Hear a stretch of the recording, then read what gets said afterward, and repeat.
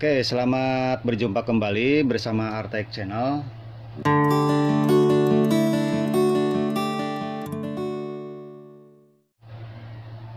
Oke, teman-teman.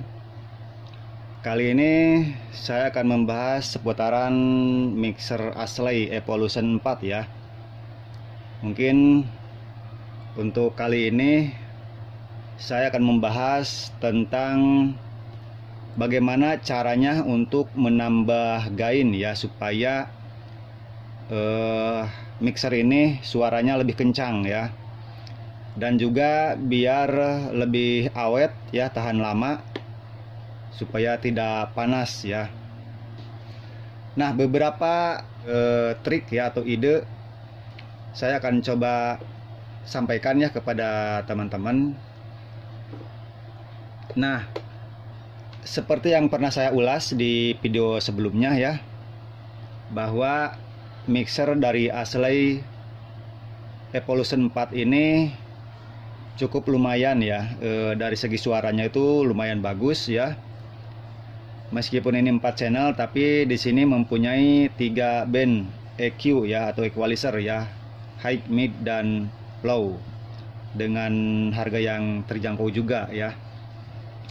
Nah pada tampilan mixer Asley Evolution 4 ini di sini ada dua inputan sebagai mono ya dan dua inputan dijadiin stereo ya ini. Nah, ini untuk stereonya, ini untuk mononya. Nah, di mana untuk inputan channel 1 dan channel 2 ini menggunakan jack multi ya atau universal. Jadi artinya ini jack bisa Canon, bisa Akai ya atau XLR dan juga eh, Toa ya. Jadi di sini untuk mic dan line Nah untuk ini saklar eh, di sini bukan saklar pilihan ya, pilihan untuk mic atau lain, tapi di sini saklar untuk phantom ya. Jadi phantomnya di sini ada masing-masing tiap channel ya untuk switchnya atau saklarnya. Nah bagi pengguna di rumahan tentu eh, kita sering familiar ya untuk mikrofonnya itu menggunakan jack seperti ini ya atau jack Akai ya. Nah seperti ini ya. Atau ini saya juga mempunyai sebuah wireless ya dengan outputnya menggunakan jack Akai juga ya atau jack Toa. Atau mic kabel yang ujungnya juga sama ya e, seperti ini menggunakan jack Akai. Ada juga wireless mic yang mempunyai receiver ya. Jadi jack untuk penghubungnya itu dari receiver ke mixernya itu sama kabelnya menggunakan jack Akai ini ya. Nah beda hanya dengan untuk sekelas sound profesional atau untuk eh, panggung ya. Biasanya selalu menggunakan jack XLR ya yang ujungnya seperti ini ya tiga. Gitu. Tapi untuk rumahan jarang menggunakan XLR ya karena eh, mungkin lebih simple menggunakan jack Akai seperti ini. Nah, pada mixer Evolution 4 dari Asli ini untuk inputannya ini kan digabung ya untuk mic dan line. Nah, sementara untuk mic-nya dia menggunakan mic eh, atau jack yang XLR-nya ya, yang kaki tiga ini. Sementara untuk line-nya dia menggunakan jack inputan eh, Akai ya, yang seperempat ini tuh. Nah, kondisi kalau kita menggunakan jack Akai pada mikrofon ya dimasukkan ke sini maka otomatis suara dari mikrofon itu akan tenggelam ya karena eh, jack yang tengah ini atau yang Akai ini dia inputannya untuk line bukan untuk mikrofon. Tapi untuk mikrofon menggunakan jack yang XLR ini. Nah bagaimana caranya supaya eh, kita bisa menggunakan mic ini dengan suaranya yang cukup e, lantang ya atau keras ya supaya tidak mendem? Satu mungkin teman-teman bisa mempergunakan mic yang ujung kabelnya itu XLR ya. Nah tetapi e, untuk di rumahan kita jarang ya menggunakan kabel itu karena kita juga kalau beli di pasaran itu pasti dikasihnya jacknya seperti ini ya gitu. Nah agar bisa dipergunakan eh, untuk mikrofon maka saran saya pergunakan konverter ya seperti ini. Jadi ini eh, bisa multifungsi ya. Jadi bisa digunakan untuk mic kabel ya yang ujungnya seperti ini atau wireless wireless yang ada receivernya. Dia kan kabelnya untuk penghubungnya itu sama pakai Akai juga gitu. Nah jadi pergunakan seperti ini ya. Jadi konverter atau adapter dari XLR to Akai ya seperti ini ya. Nah dengan cara menggunakan ini maka gain dari mikrofon itu akan bertambah eh, kencang ya atau keras suara kita gitu. Kenapa bisa ada perubahan ya? Mungkin penjelasannya sudah saya jelaskan di video sebelumnya ya, mungkin ada tinggal klik saja ya video sebelumnya tentang modifikasi mixer Asley Evolution 4 ya. Silahkan dipelajari dulu di sana ya. Jadi inilah solusi untuk menambah suara supaya suara mic kita ini uh, kencang ya pada mixer Asley Evolution 4 ini ya. Oke teman-teman jadi saya akan coba buktikan ya kenapa atau bagaimana kok ini bisa menambah kencang ya. Oke saya akan coba hidupin dulu ya. Ini untuk power supply-nya. Oke. Oke udah on ya. Kemudian ini sumber suara. Sumber suara saya masukkan dari eh, televisi ya. Ke input sini saja dulu ya. Kita bandingkan nanti suaranya. Nah ini output untuk ke speaker aktif ya. Saya menggunakan speaker aktif aja. Bluetooth dihidupkan seperti ini ya oke saya coba dulu ini ini ini signal udah masuk ya dari channel 34 ini yang stereo. Nah, ini ya udah masuk ya.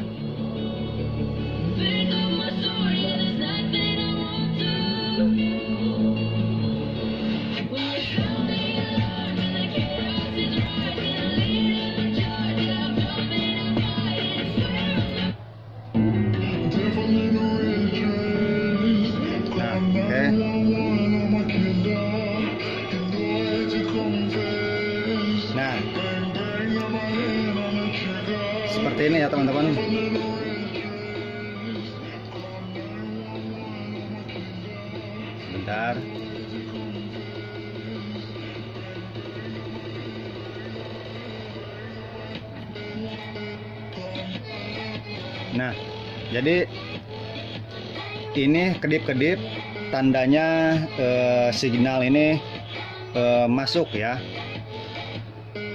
Nah ini untuk gain, gain di sini udah mentok di paling kecil ya. Oke, nah sekarang saya akan coba untuk mikrofon ya. Nah ini mikrofon ya. Yang saya bilang tadi ini uh, wireless ya dari Asley juga. Saya akan coba hidupkan ya. Seperti ini, ini udah hidup ya. Saya akan coba mikrofon ini masukkan di channel 1 ya. Seperti ini Oke. Kemudian ini untuk mikrofonnya ya, ini untuk receivernya ya. Ini untuk mikrofonnya. Oke, sudah masuk ya. Sebentar, saya akan coba tutup dulu untuk musiknya. Nah, di sini gain saya coba tutup dulu ya. Saya volume speaker aktifnya saya coba ditambah ya. Ini gain saya tutup dulu. Ini untuk high saya buka full. Untuk mid setengah ya. Untuk low sekitar 3 per 4 ya. Oke sekarang saya buka untuk volumenya. Cek 1 2 3 cek 1 2 3 nih speaker aktifnya suaranya kecil banget ya satu ini saya udah teriak-teriak lihat lampu signal ya lampu signal ini gak yang yang ini ya harusnya kalau musik nah ini kan musik kan kedip-kedip ya meskipun pelan dia udah masuk tapi untuk mic ini e, lampunya kita perhatikan Satu, dua, tiga, cek satu. Nah ini saya udah teriak-teriak ya. Tapi belum kedip-kedip ya untuk picknya. Oke, saya coba tambah untuk gainnya satu, dua, tiga, cek low. Nih ini gain udah saya buka full ya.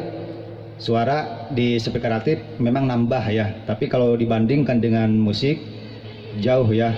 Ini udah full ya, ini full ya untuk volumenya full semua volume mic ya sama gain mic udah full tapi ini musik ditutup untuk gainnya dan untuk volume musiknya ini seperempat ya. Tapi tetap vokal kita kalah dengan musik ya. Nah ini pedal full ya.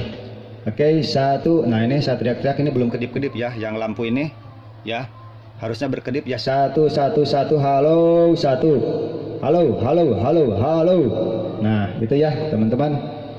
Jadi jadi eh, suaranya itu paling kenceng seperti itu ya. Masih kalah sama musik.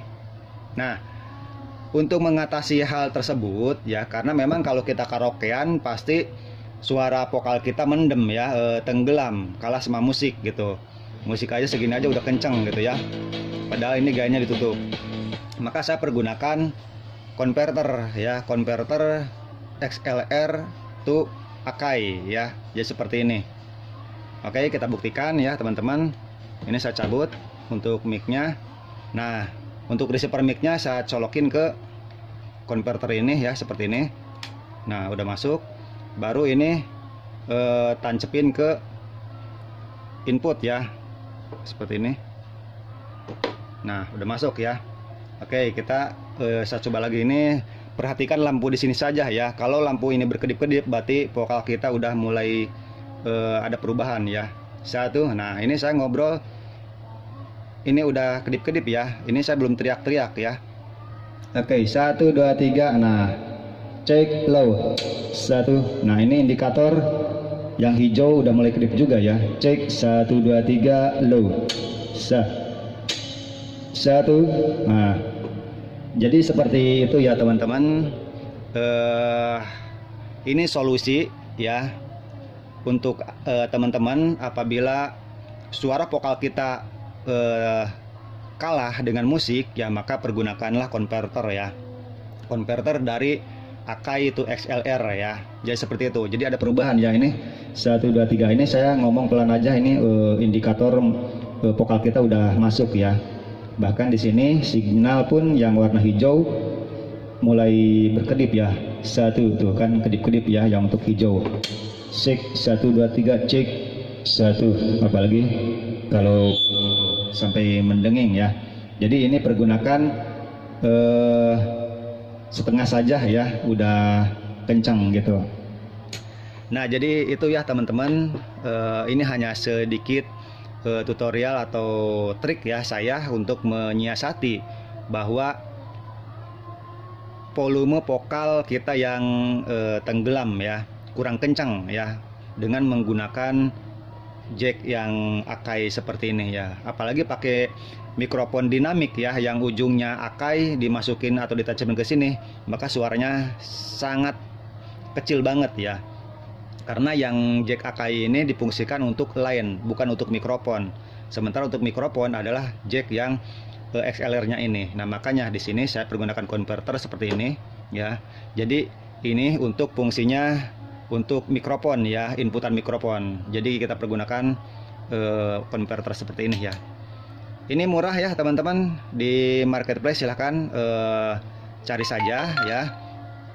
Terserah mereknya apa aja gitu. Yang penting uh, converter dari Akai itu XLR ya. Jadi seperti ini. Oke kemudian trik yang kedua ya uh, karena mixer ini berbahan casingnya plastik ya. Jadi ini sedikit panas ya. E, bodinya ini ya karena panas dari e, power supply yang ada di dalam mixer ini tidak tersalurkan ya ke body ya karena bodinya plastik. Beda kalau bodinya e, besi ya. Maka panasnya tersebut akan diredam gitu apalagi biasanya kalau yang body besi itu suka ada lubang-lubang angin ya untuk pelepasan panas gitu. Nah, di sini eh, saya mengakalinya dengan cara seperti ini ya teman-teman. Nah, saya membuat saluran angin ya di sini ya dengan cara dibor ya. Jadi eh, ini saya bikin tiga baris ya sepanjang eh, power supply di dalam sini ya. Jadi di dalam sini ada power supply. Jadi sebelum mengguna eh, apa membolongi casing ini ya, saya pakai untuk musik eh, mungkin sekitar seperempat jam setengah jam ini panas ya untuk eh, apa namanya itu power supply-nya karena tidak ada udara yang bersirkulasi gitu. Nah, setelah dikasih bolongan ya ini, maka ini udara panasnya itu akan terbuang gitu, tersirkulasi keluar. Jadi ini adem gitu ya. Nah, seperti ini ya teman-teman. Jadi ini solusi ya agar uh, mixer teman-teman awet ya panas ya karena kalau sampai kena uh, power supply-nya itu ya lumayan harganya ya jadi kurang lebih berkisar 200 ribuan untuk power supply-nya saja ya jadi mungkin sepertiga dari harga uh, mixernya sendiri ya. Nah jadi seperti ini ya teman-teman. Gak apa-apa ini dibuka saja ya. Jadi tidak terlihat ya karena yang saya bolongin itu di belakang sini gitu. Jadi tidak akan terlihat tidak akan e, mengganggu pemandangan ya. Karena ini adanya di dalam gitu. Jadi kalau dipakai ya otomatis tidak tidak terlihat ya. Seperti mulus saja ya dari depan gitu dari samping ya dari belakang gitu. Jadi kelihatan mulus padahal yang dikasih bolongannya di sini ya. Nah ini teman-teman sangat-sangat membantu ya gitu. Sangat-sangat membantu. Sebelum e, dibolongin ini setengah jam saja ini udah panas ya panas banget. Karena udaranya terjebak ya di dalam e, casing ini gitu. Tidak tersirkulasi maka setelah dibolongin seperti ini maka ini adem ya karena udaranya terbuang keluar. Apalagi kalau bagi teman-teman yang dipakai buat ya acara-acara di rumah gitu ya ada mungkin hajatan ya atau ada pengajian pemakaian itu bisa satu jam lebih ya maka ini lebih dingin ya gitu. Tidak akan panas. Oke teman-teman jadi untuk kali ini eh, tip dan triknya cukup segini dulu ya dari saya mudah-mudahan eh, bermanfaat bagi teman-teman ya untuk tip dan trik selanjutnya mungkin saya akan coba nanti e, kembangkan lagi di video selanjutnya ya. Ada beberapa lagi e, tips atau trik yang berhubungan dengan mixer Aslay Evolution 4 ini ya untuk ke depannya gitu. Jadi untuk saat ini saya cukupkan dulu sampai di sini ya untuk videonya. Jadi hanya dua tips yang saya berikan yaitu mempergunakan konverter ya untuk menambah suara menjadi kencang untuk vokal dan membuat sirkulasi atau ventilasi power supply di sini ya supaya e, mixer Anda awet ya dan tahan lama tahan, tahan panas juga ya. Oke teman-teman demikian dulu ya sampai jumpa lagi di video-video selanjutnya jangan lupa dukung terus channel kami Artek Channel ya dengan subscribe share ya ke teman-teman Anda bila memang ini bermanfaat ya. Oke, terima kasih. Sampai jumpa lagi. Wassalamualaikum warahmatullahi wabarakatuh.